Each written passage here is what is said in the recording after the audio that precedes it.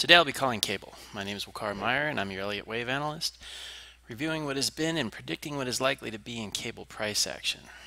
So, since the last video, and I didn't get a chance to make one yesterday, uh, I think the movement has been corrective. And right here we're on a 108 minute chart.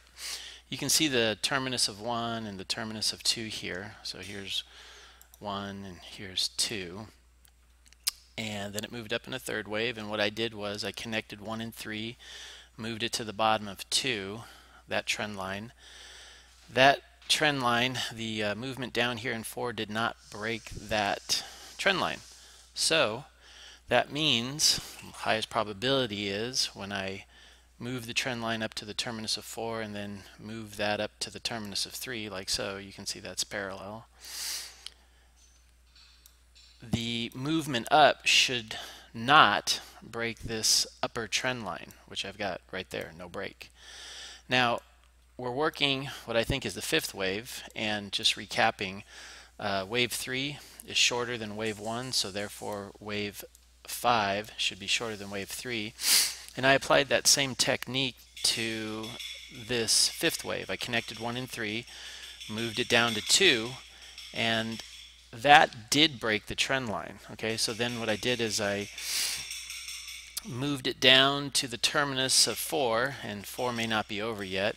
Um, this right here was a zigzag, right, this second wave, and this is a flat. I believe this was three waves down, and this was three waves up, and it did come up 90% of the drop, all right, and I believe this is ending diagonal, ending expanding diagonal.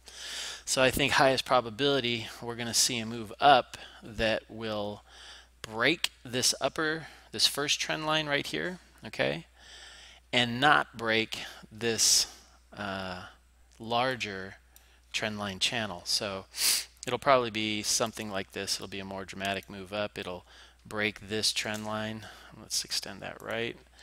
Something like this, right? It'll break this trend line, but stay under this larger channel trend line. So I think uh, now might be a decent time to take a long trade. Uh, your stop would be the terminus of 1 right here, okay? Because that, that would mean that this is no longer an impulse. It's either over or it's making a diagonal. Either way, it means the count isn't correct and you should act accordingly.